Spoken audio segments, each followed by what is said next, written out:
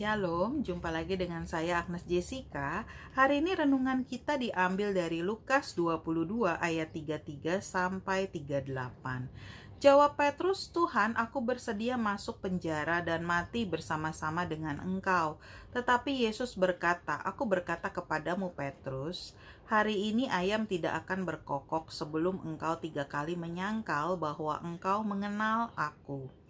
Lalu ia berkata kepada mereka, "Ketika aku mengutus kamu dengan tiada membawa pundi-pundi bekal atau kasut, apakah kamu kekurangan apa-apa?" Jawab mereka, "Suatu pun tidak," katanya kepada mereka. "Tetapi sekarang ini, siapa yang mempunyai pundi-pundi, hendaklah ia membawanya. Demikian juga yang mempunyai bekal." Dan siapa yang tidak mempunyainya, hendaklah ia menjual jubahnya dan membeli pedang, sebab aku berkata kepada kamu bahwa nas kitab suci ini harus digenapi padaku. Ia akan terhitung di antara pemberontak-pemberontak, sebab apa yang tertulis di antara, tentang aku sedang digenapi. Kata mereka, Tuhan ini dua pedang, jawabnya sudah cukup. Jadi Yesus ini sedang berbicara tentang dua situasi. Situasi yang pertama adalah ketika uh, dia mengutus murid-muridnya untuk pergi ke kota-kota berdua-dua. Mereka tidak boleh membawa bekal. Mereka cuma boleh membawa shalom. Jadi ketika mereka datang dan uh, sebuah rumah menerima mereka, mereka mengucapkan shalom dan orang di rumah itu akan menyediakan bekal bagi mereka, akan menyediakan makanan, tempat tinggal bagi mereka. Tetapi kalau mereka tidak diterima, maka shalom itu akan kembali dan mereka harus mengebaskan kakinya, debu dari kakinya untuk menjadi tanda bahwa rumah itu tidak akan selamat. Jadi e, mereka harus menuntaskan pekerjaan mereka demikian.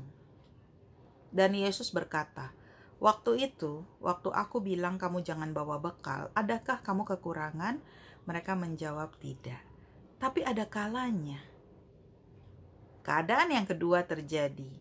Yang kedua adalah Yesus itu akan disalib besok. Jadi pada saat itu Yesus berkata, "Dulu aku bilang kamu tidak usah bawa bekal. Sekarang kamu mesti bawa bekal. Yang bawa yang punya uang bawa dalam pundi-pundi mereka harus kabur dan mereka harus menggunakan uang mereka. Jadi saudara, ada dua keadaan yang akan terjadi.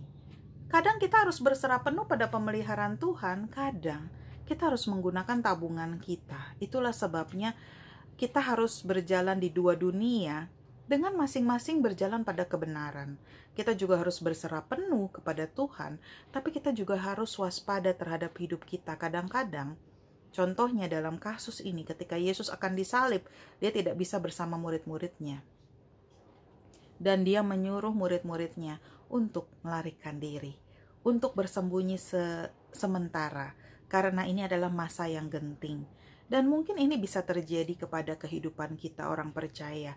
Ada kalanya kita juga harus mengandalkan tabungan kita. Kita juga harus mengandalkan pedang kita. Karena kita tidak tahu situasi yang akan terjadi pada diri kita. Ada kalanya Tuhan akan menyuruh kita memberi. Berilah maka kamu akan diberi. Kita harus beri. Tetapi ada kalanya di bagian lain Tuhan berkata, perumpamaan lima gadis bijaksana dan lima gadis bodoh. Ketika gadis bodoh meminta minyak, orang yang bijaksana harus berkata, Aku punya cuman cukup untuk diriku sendiri, lebih baik kamu cari dan beli di warung.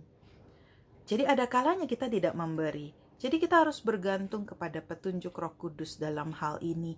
Dalam segala situasi, kita harus betul-betul cerdik seperti ular dan tulus seperti merpati. Demikianlah firman Tuhan hari ini saudara. Semoga Tuhan memberkati kita semua.